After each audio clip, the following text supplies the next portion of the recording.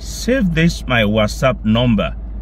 You will need it for the free interpretation of your dreams.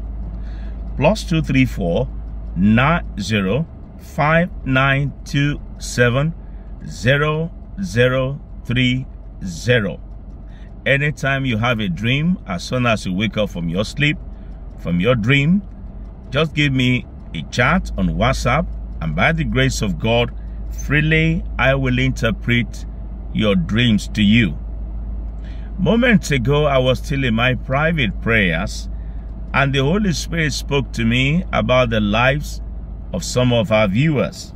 Someone there, you are watching me, it's been exactly one week now. You have been suffering from very severe pile. You have great difficulties in stooling. Aha, you are the one. Let me pray for you. Will you allow me to pray in the spirit, to pray in tongues? Then I pray in understanding for you. Riakatumbi lakatumbi gadenakuria. Ijigagoge anatunde biria. Acts of Apostles chapter 10 verse 38 says, Jesus Christ went about healing all that were oppressed of the devil. In the name of the Lord Jesus Christ, receive your healing right now in Jesus' mighty name. Amen and amen. It is done. And let's hear your testimony. Okay, let me describe this case the way the Lord revealed it to me. Someone is there, you have so many pimples on your face. It is such to the extent that is giving you a lot of embarrassment. You have taken a lot of drugs and creams, but it's not working. I want to pray for you. Lay your hands upon your forehead. Almighty God, I use your word in Psalm 138, verse 8, to pray for this person. Your word says, The Lord will perfect that which concerneth me. Perfect this person's face, let there be healing. In Jesus' mighty name. Amen and amen. It is done because God, by His mercies, always answers my prayers. Oh my God.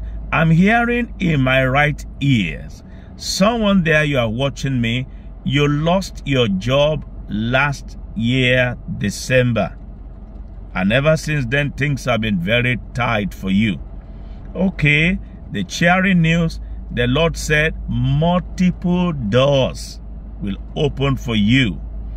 So use Revelation chapter 3 verse 8 to pray. We are waiting to hear your testimony. Today we are interpreting this dream and that is the dream when your chair is broken or taken away. Ah, this one is not a good one. It is a dream that means the enemy is fighting against your destiny, against your glory, against your job. And it's not a good one. Use this scripture to pray Joel chapter 2, verse 25 and 26. Remember to save my WhatsApp number plus 234 9059270030. It is for the free interpretation of your dreams. Let us pray. The Almighty God will show you mercy. The Lord will defend you. The Lord will restore all your losses in Jesus' mighty name. Amen and amen.